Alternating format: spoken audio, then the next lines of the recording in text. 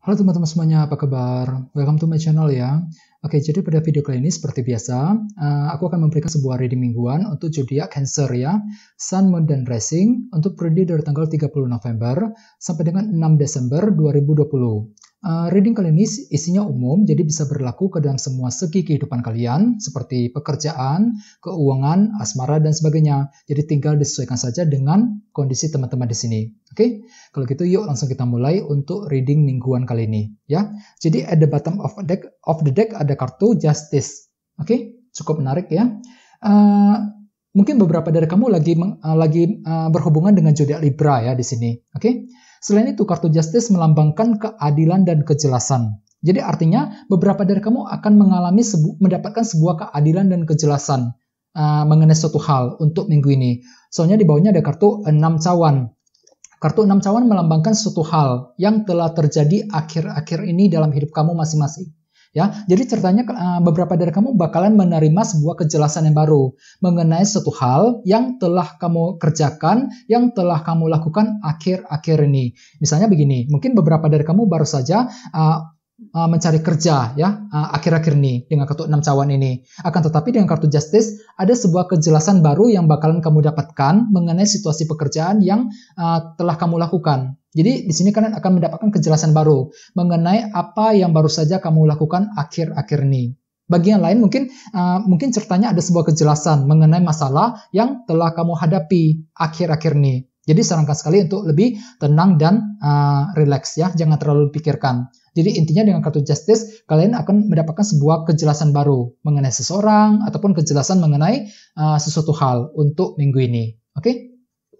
Terus uh, di bawahnya ada kartu Knight of Wands dan kartu The Fool. Jadi ceritanya beberapa dari kamu akhir-akhir ini, akhir-akhir ini aku lihat mungkin lagi ingin bergerak maju ke depan, memulai suatu hal yang baru dengan kartu The Fool. Dan kamu telah melakukannya dengan sangat antusias, dengan sangat semangat sekali dengan kartu Knight of Wands ini. Jadi ceritanya kalian itu uh, lagi uh, bersemangat untuk memulai uh, suatu hal baru, ini bisa mengenai apa saja ya, soalnya setiap orang pasti kondisinya beda-beda. Misalnya mungkin lagi ingin memulai hubungan dengan seseorang, memulai bisnis yang baru, memulai mencari kerja, ya. Jadi intinya ada sebuah uh, suatu hal, uh, sebuah kegiatan baru yang yang telah kalian lakukan akhir-akhir ini dan kamu cukup antusias untuk melakukannya, ya. Ini baru, baru saja terjadi belakangan ini, oke? Okay? Terus uh, tema kalian untuk minggu ini adalah kartu Queen of Wands. Uh, mungkin di sini ada lagi berhubungan dengan zodiak Aries, Leo, Sagittarius ya. Selain itu, uh, kartu Queen of Wands pada pada dasarnya melambangkan seseorang yang sangat kreatif sekali, memiliki uh, imajin, imajinasi yang, yang sangat tinggi, ya, imajinasi yang cukup besar, Selain itu, uh, Queen of Wands juga melambangkan seorang yang sangat uh, ambisius ketika ingin mencapai sebuah target dan tujuan. Jadi secara umum, uh, beberapa dari kamu aku lihat akan memiliki sebuah ambisi yang cukup besar untuk melangkah maju ke depan, ambisi untuk mencapai target dan tujuan kamu untuk minggu ini. Dan kamu akan melakukannya dengan cara-cara yang kreatif.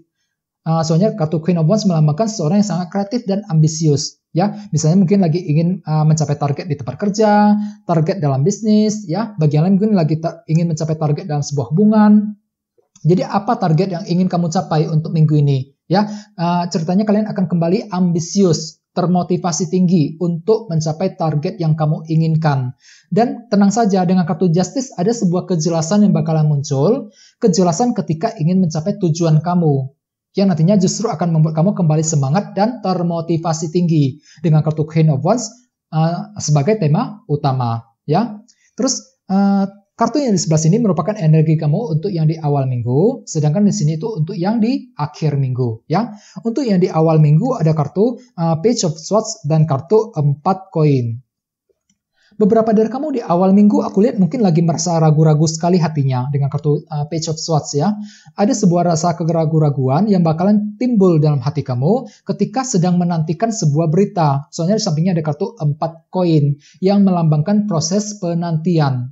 Mungkin beberapa dari, dari kamu lagi menantikan sebuah kabar berita yang cukup penting. Misalnya mungkin lagi menantikan kabar mengenai pekerjaan, mengenai uh, keuangan, bagian lain mungkin lagi menantikan kabar dari seseorang dan sebagainya. Uh, akan tetapi dengan kartu Swords, mungkin ceritanya di awal minggu nanti, kalian itu merasa ragu-ragu sekali. Apakah berita tersebut uh, bakalan kamu terima apa enggak? Ya, jadi uh, bagi kamu yang sedang menantikan sebuah kabar berita yang sangat penting, disarankan banget untuk lebih tenang dan bersabar karena segala sesuatu butuh waktu dan proses. Ya, uh, ceritanya di awal minggu kalian akan merasa ragu-ragu sekali hatinya dengan kartu Page of Swords. Oke, okay? terus di bawahnya di bawahnya ada kartu uh, 5 pedang dan kartu 6 koin. Kartu 5 pedang biasanya melambangkan uh, rintangan dan tantangan ya. Jadi artinya beberapa dari kamu di awal minggu akan menghadapi sebuah uh, kesulitan kecil. Ini bisa mengenai apa saja ya. Kesulitan yang nantinya akan membuat kamu merasa uh, stuck Misalnya mungkin uh, lagi mengalami kesulitan keuangan, kesulitan dalam sebuah hubungan, kesulitan dengan teman, ya mungkin beberapa dari kamu bakalan menghadapi kesalahpahaman di awal minggu. Jadi intinya ada sebuah kesulitan kecil yang bakalan kamu hadapi, akan tetapi kamu tenang saja, so soalnya di sampingnya ada kartu 6 koin yang melambangkan bantuan dan dukungan. Jadi ceritanya di awal minggu ada seseorang yang akan membantu kamu, mendukung kamu ketika ingin keluar dari kesulitan tersebut di awal minggu. Jadi walaupun memang ada sebuah kesulitan kecil yang bakalan kamu hadapi, dengan kartu 6 koin bakalan ada sebuah dukungan dan bantuan dari orang lain ketika ingin menyelesaikan kesulitan tersebut. Ya, dan dengan kartu Queen of Wands sebagai tema utama, di awal minggu mungkin kalian akan menggunakan cara-cara yang kreatif kreatif dalam berpikir, kreatif dalam mencari sebuah solusi untuk menyelesaikan kesulitan tersebut, untuk menyelesaikan, untuk mengatasi keraguan-raguan yang bak yang bakalan kamu hadapi di awal minggu nanti. Oke? Okay? Terus untuk yang di akhir minggu ada kartu King of Pentacles dan kartu Seven of Swords ya, tujuh pedang.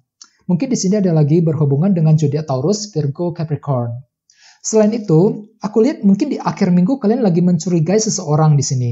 Misalnya mungkin lagi mencurigai keluarga di rumah, ya, mencurigai uh, seseorang di tempat kerja, bagi yang sudah bekerja misalnya.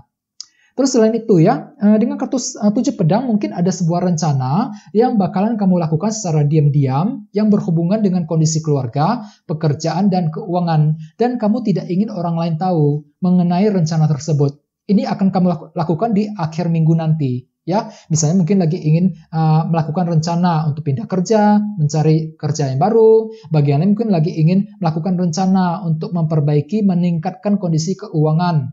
Atau untuk mengatasi uh, uh, masalah yang terjadi dalam keluarga misalnya jadi intinya ada sebuah rencana yang bakalan kamu lakukan secara diam-diam yang berhubungan dengan keluarga, pekerjaan, dan keuangan di akhir minggu nanti. Dan dengan kartu Queen of, uh, Queen of Wands sebagai tema utama, di sini kalian akan uh, menggunakan cara-cara yang kreatif ketika menjalankan rencana tersebut di akhir minggu. Oke, okay? terus di bawahnya ada kartu King of Wands dan kartu Wheel of Fortune. Ya, cukup bagus sekali di akhir minggu, soalnya ada sebuah keberuntungan dan perubahan besar perubahan positif yang bakalan kamu hadapi di sini, yang nantinya akan membuat kamu kembali termotivasi, kembali semangat.